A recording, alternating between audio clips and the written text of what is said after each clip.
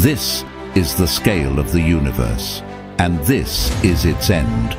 But is there something else behind this invisible barricade that we think is the end zone of our universe?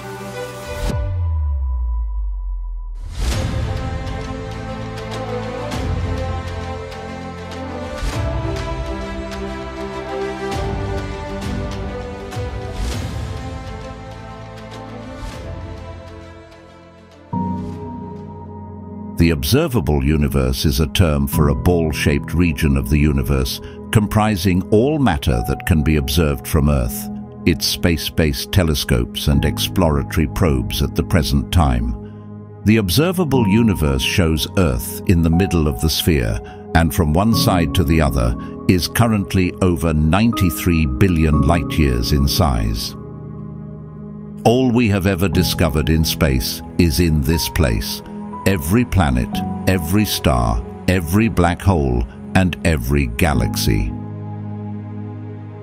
The galaxy GNZ11 was the oldest, youngest, and most distant galaxy ever identified, until scientists recently discovered another galaxy being more distant than GNZ11. This galaxy is over 100 million light-years more distant than the other one, the HD1 galaxy is 13.5 billion light-years from the Earth and is believed to be a high redshift galaxy. Revealing this galaxy was not easy. A researcher, Yuichi Harikane, found this mysterious galaxy in more than 700,000 objects in the Sextans constellation. The observation time took 1200 hours using four powerful optical and infrared telescopes. This galaxy is extremely red in color due to its redshift, a very old light that is stretched over time as it travels through space, and we can say that the galaxy is missing all of its short wavelength light. HD1 was formed only 330 million years after the Big Bang, which makes it very interesting. Studying ancient objects like HD1 can help fill in long-standing gaps in our knowledge, allowing us to finally see exactly how the universe transitioned from a formless expanse of churning plasma into the familiar arrangements of galaxies, stars, and planets that grace the sky. However, there is a big chance that there is a younger galaxy behind the galaxy HD1 that we are simply not capable of seeing. Or the HD1 galaxy does not exist anymore, as light from it travels 13.5 billion light-years. Now, let's have a look at what we think is the end zone of the observable universe. Basically, the universe is divided into two parts, the observable and the actual universe. The light horizon, as we call it, is the end zone of the observable universe. The light horizon, also called particle or cosmological horizon, is the maximum distance from which light from particles could have travelled to the observer in the age of the universe regarding the laws of physics. But what is hiding behind this invisible barricade in the actual universe? Well, there are actually three possible solutions to this unusual question. The universe goes on, the universe is infinite, or the universe ends at this point.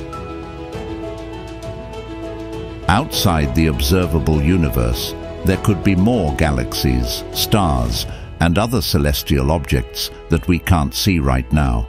They are simply too far away for us to see with our current technology. These regions are beyond the reach of our telescopes due to the limitations of the speed of light and the age of the universe. Our vision is simply limited, and it is quite awesome that we can see that far away with our telescopes and other devices. However, not with our own eyes. The furthest object we can see in the sky with the naked eye is the Andromeda Galaxy, being two and a half million light-years away. We can see this galaxy as a little dot, similar to a star, as viewed from the Earth. Now let's have a look at the furthest points of the observable universe. Over time, space has been expanding, and the distant objects that gave off their light 13.5 billion years ago have since moved even farther away from us. Today, those distant objects can be a bit more than 46 billion light-years away.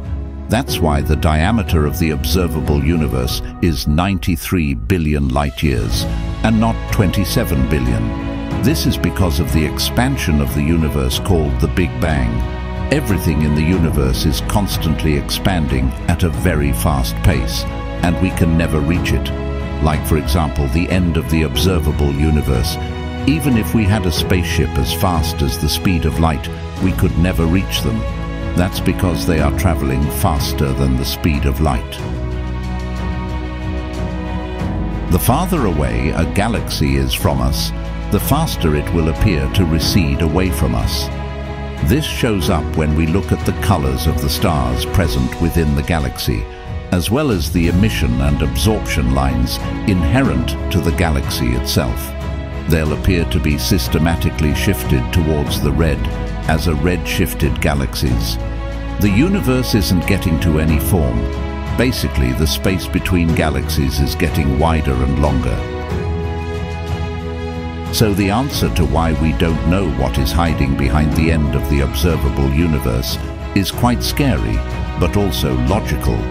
You know, speculations about such things do not provide answers, but generate more and more questions.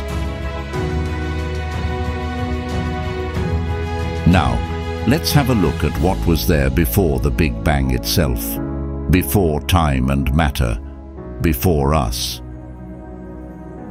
We will have a look at the oscillating universe theory, a theory that suggests that our universe grows and then shrinks, growing in all matter and energy.